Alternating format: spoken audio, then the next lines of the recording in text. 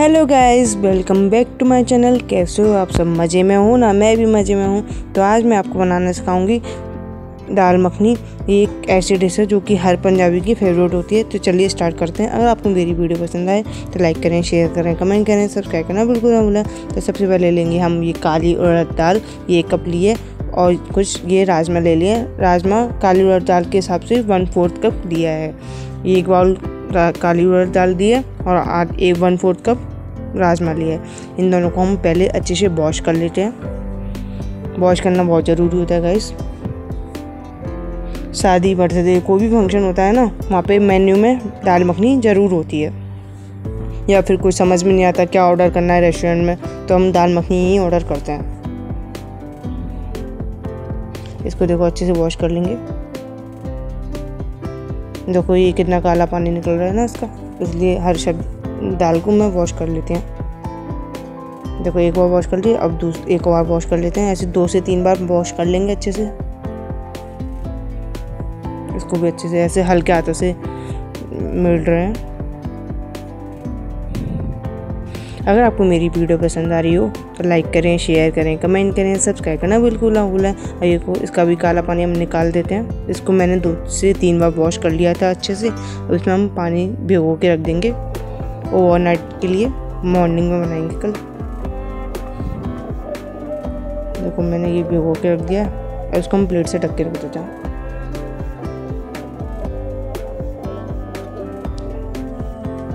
Next day morning ये देखो next day morning में देख रहे हैं तो देखो कितने बड़े हो गए हैं ना, कितने फूल गए हैं। वाह ये दाल का कलर भी ग्रीनिश हो गया है थोड़ा सा, ऐसे ही हो जाता है। फिर इसको हम एक ओवर वॉश कर लेंगे। इसका सारा पानी निकाल देते हैं। इसको एक ओवर वॉश कर लेते हैं हम। जितना ज़्यादा अच्छे से वॉश करेंगे ना, उतना ज़्यादा टेस्ट अच्छा आएगा गाइस और देखने में भी कलर एकदम रेस्टोरेंट स्टाइल आएगा। इसको वॉश करना काफ़ी ज़रूरी है। दो बार मैंने पहले वॉश कर लिया था, अब दो बार मैं, अब बाद में भी वॉश कर रही इसका भी हम सारा पानी निकाल देंगे। कितने बड़े बड़े हो जाते हैं ना ओवरनाइट के लिए भिजो के रखा हुआ था मैंने इसको।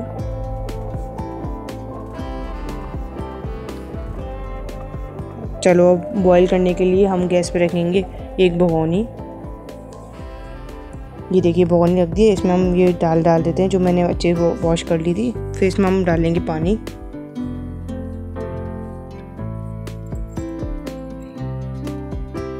पानी भी डाल दिया अच्छे से।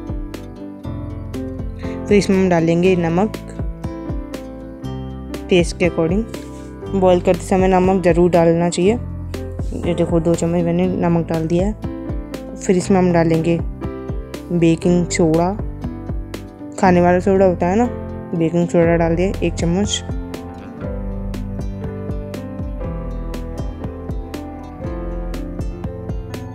फिर इसमें हम डालेंगे दो चम्मच चीनी। हल्की सी मिठास के लिए दो चम्मच चीनी डाल दी है। इन सबको अच्छे से मिक्स कर देंगे।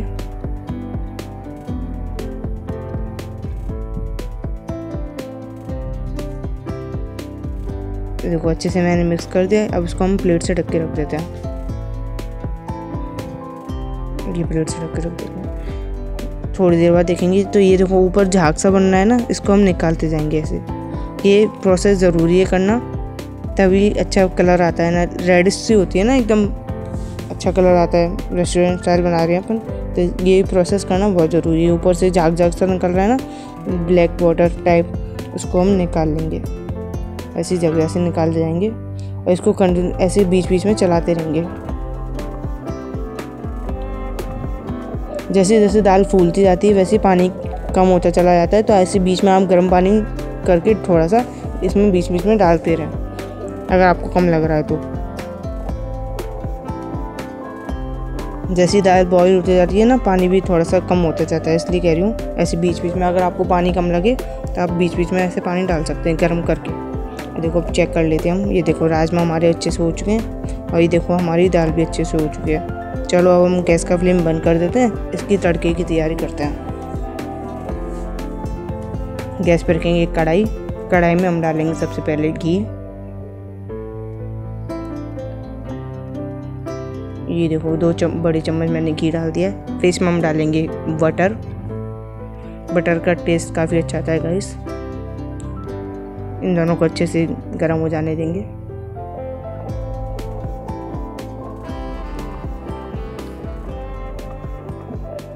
अगर आपके पास बटर ना हो तो बटर को आप स्किप कर सकते हैं वरना बटर तो बहुत ज़रूरी होता है मखनी बनाने के लिए।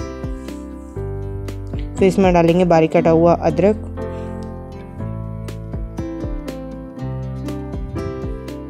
अदरक को भी अच्छे से हो जाने देंगे। फिर इसके बाद हम डालेंगे साथ में कश्मीरी लाल मिर्च पाउडर। तो फिर थोड़ा सा कश्मीरी लाल मिर्च पाउडर डाल दिया, इसको भी अच्छे से मिक्स कर लेंगे। इसके बाद हम डालेंगे टमाटर की प्यूरी। ये टमाटर को मैंने पीस लिया था मिक्सर ग्राइंडर में। दो टमाटर लिए थे मैंने बड़े। अच्छे से मिक्स कर देंगे इसको।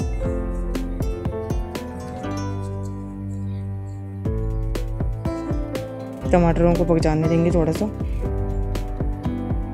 गाइज़ आप मेरे चैनल पर बाकी वीडियोस भी देखते रहें। आई होप आपको मेरी वीडियोस पसंद आ रही होंगी। ये नमक डाल दिया था मैंने बीच में स्वाद के अनुसार। याद रखें, हमने बॉईल करते समय भी नमक डाला था। तो इस टाइम पे हम थोड़ा सा कम डालेंगे। नमक भी डाल दिया अब टमाटरों को हम अच्छे से पक जाने देंगे। ये देखो, घी छोड़ना स्टार्ट कर दिया टमाटर ने। यानी कि हमारे अच्छे से टमाटर पक चुके हैं। थोड़ा सा और पका लेंगे।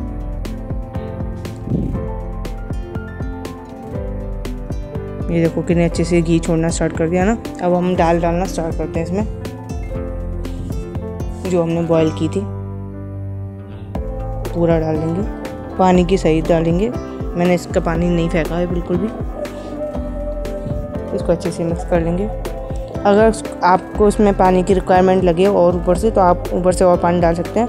नहीं तो वरना मैंने बॉईल कर सम, सम बॉईल करते समय मैंने अच्छे से पानी डाल दिया था ना इसलिए मेरे को पानी की रिक्वायरमेंट नहीं पड़ी।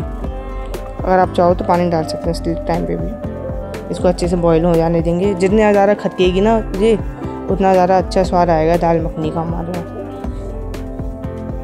अब इसमें हम डाल देते हूँ बस एक थोड़ा सा बटर एक और बटर डाल दिया मैंने। बटर का भी काफ़ी टेस्ट अच्छा आता है गाइस ये बटर को अच्छे से मोल्ट हो जाने देंगे। जब ये अच्छे से मेल्ट हो जाए ना, फिर डालेंगे हम क्रीम क्रीम डाल सकते हो या फिर घर में जो मलाई होती है, हर किसी के घर में मिल जाएगी, मलाई भी डाल सकते हैं. ये दो बड़ी चम्मच मैंने मलाई डाल दी है या फिर क्रीम बोल सकते हैं आप. अमूल की क्रीम भी डाल सकते हैं इसको भी अच्छे से मिक्स कर लेंगे. जितना ज़्यादा बॉईल होगी ना, उतना ज़्यादा अच्छा टेस्ट आएगा गाइस अब हम डाल देते हैं बारीक कटा हुआ हरा धनिया. हरा धनिया डालने के बाद भी इसको थोड़ा सा और बॉईल कर लेंगे. दाल मखनी थोड़ी सी हैवी भी होती है खाने में। देखो कोरिएंडर डालने के बाद एक और बॉईल ले लेती हूँ मैं।